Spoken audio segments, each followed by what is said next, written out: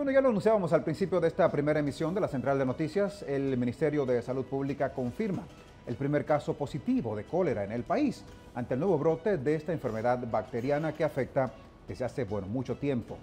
Cesó por un momento y ha vuelto en Haití. Tenemos a Gioconda Paulino pues en directo, que nos cuenta a propósito pues de quién se trata y cuál es la demarcación que fue identificada. Gioconda, adelante, buenas tardes.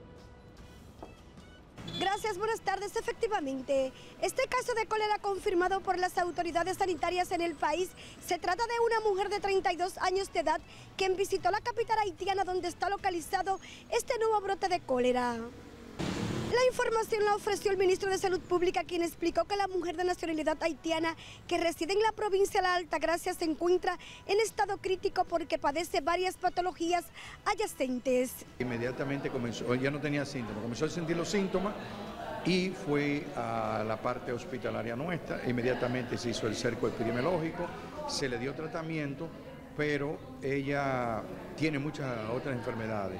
Tiene pneumonitis aguda con fuerte infección de orina, tiene amebiasis intestinal y la sospecha clínica fue el componente de cómo aparecieron la diarrea y el color de las diarreas. La fémina convive con tres integrantes de su familia y hasta el momento ninguno han presentado síntomas de la letal enfermedad.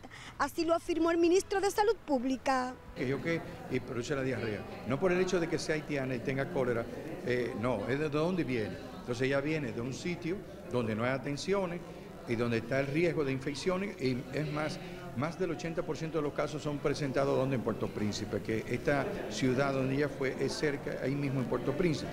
Entonces, ¿qué es lo que ha hecho? Que hemos hecho el cerco, hemos vigilado, la familia eh, que está con ella, ninguno tiene síntomas ni signos, porque fue que ella fue a Haití y regresó. Y el caso está por... Precisar que este nuevo brote de cólera que afecta a la nación caribeña hasta el momento ha cobrado la vida de decenas de personas y se han notificado más de 400 casos positivos. Es toda la información que tengo por el momento. Ahora retorno contigo a los estudios. Gracias, Yoconda, por el reporte y lo importante además es que las autoridades sanitarias tienen todo esto controlado, ¿eh? todo controlado.